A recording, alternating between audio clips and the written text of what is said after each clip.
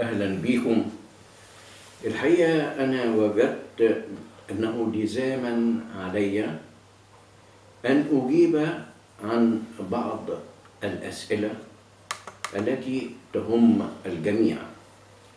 الرسالة دي من سيدة تبلغ من العمر حوالي 45 سنة.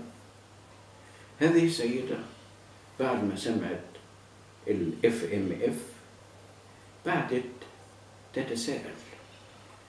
أنا لأول مرة في حياتي كان جالي ألم في البطن وكان عمري في ذلك الوقت حوالي 33 سنة. وبرغم والدي آه، أستاذ طبيب متخصص في الجهاز الهضمي إلا أن أخويا وأيضا هو آه، دكتور آه، في الجهاز الهضمي خدني للمستشفى فورا في مصر الجديدة وشالوا لي الزايدة. ورجعوني البيت في نفس اليوم. وانتهت الأمور. وفوجئ والدي إن أنا جالي الألم. ورحت وشلت زايدة ورجعت. الحقيقة يعني ما انبسطش مشيت الأمور وأنا في أتم الصحة سنوات. ومنذ آه، ثلاث سنوات أربع سنوات ابتدأ يجيلي آلام شديدة في البطن وارتفاع شديد في الحرارة لدرجة إن هم كانوا عاوزين يفتحوا بطني ظنا إن دي الزايدة وأنا كنت شلت شلت الزايدة وفضلت الحرارة كل المضادات الحيوية ما تنفعهاش فضلت الأمور ماشية كده لمدة أسبوع حتى انتهت الأمور تلقائيا. وبرغم جميع المضادات الحيوية. وانتهت وعشت سعيدة وبعد ثلاث أربع شهور جات لي الأزمة.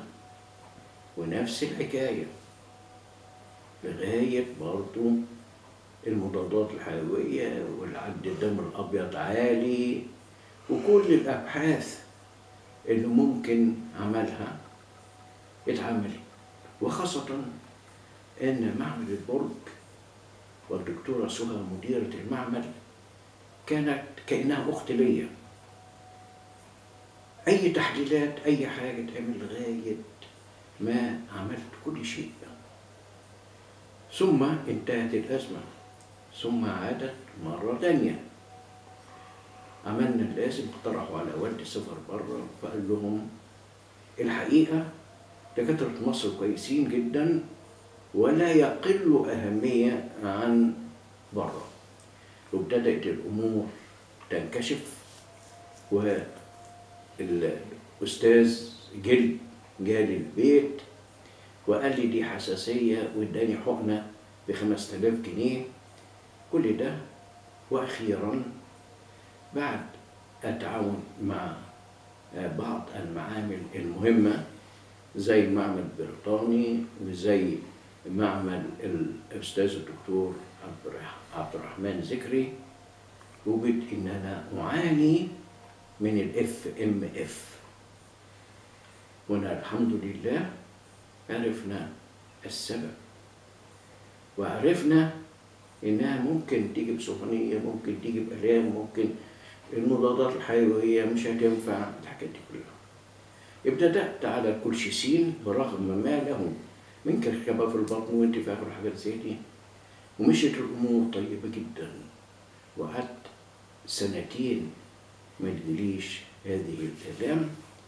وأخيرا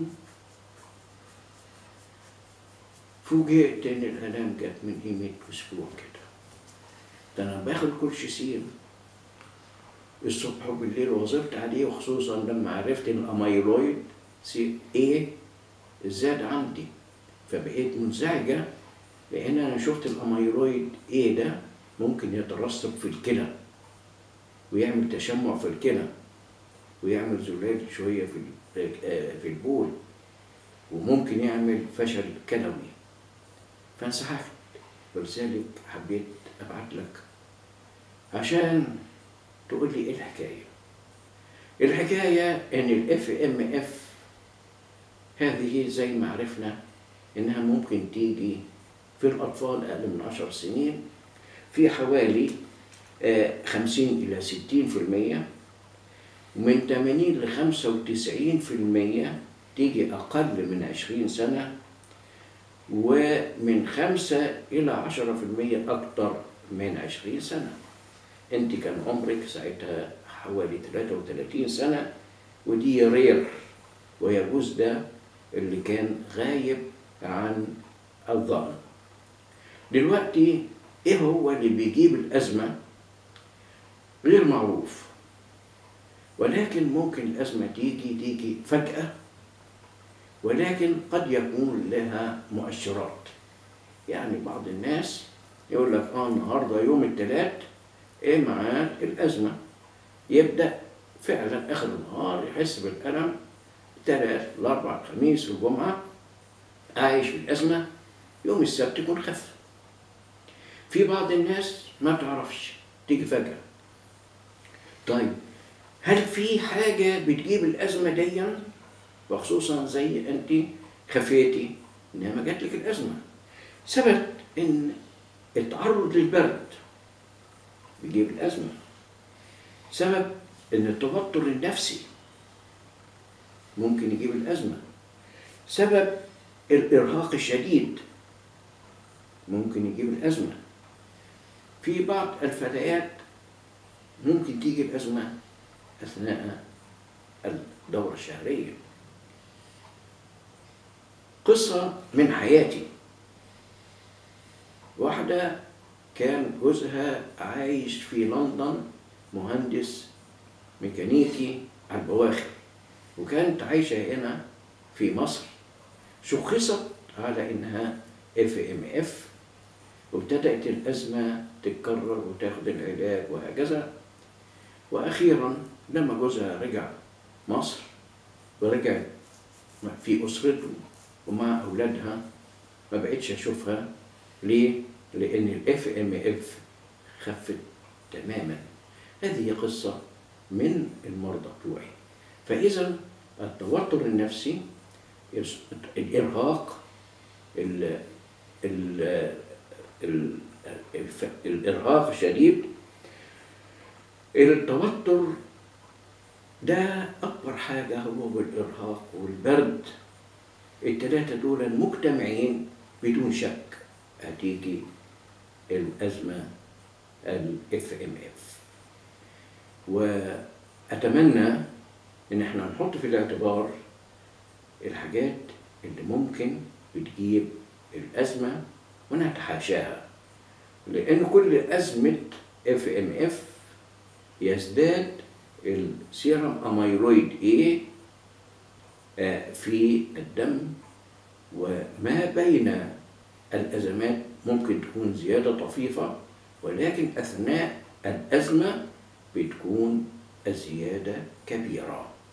وأتمنى أن إحنا نتحاشى هذه آه، الأسباب التي قد تؤدي إلى ال FMF مرة أخرى وشكرا.